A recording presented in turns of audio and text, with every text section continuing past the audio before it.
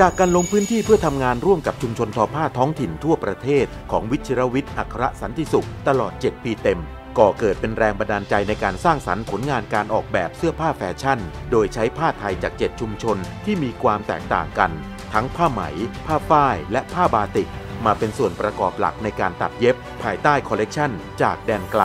จากแดนไกลเป็นเรื่องราวของการเดินทางครับ นอกจากผ้าที่มาจาก 7 ชุมชนแล้วเนี่ยยังเป็นการเดินทางย้อนเวลา คือการนำเอามรดกภูมิปัญญาทางวัฒนธรรม ที่กำลังจะสูญหายไป กลับมาให้เป็นปัจจุบันครับผม สีและลวดลายเนี่ยจะพยายามอิงไปถึงธรรมชาติให้มากที่สุดครับ นอกจากจะใช้สีธรรมชาติเข้ามาช่วยในการย้อมแล้ว โทนสีของคอลเลกชันในภาพรวมก็เป็นเรื่องราวของธรรมชาติครับผม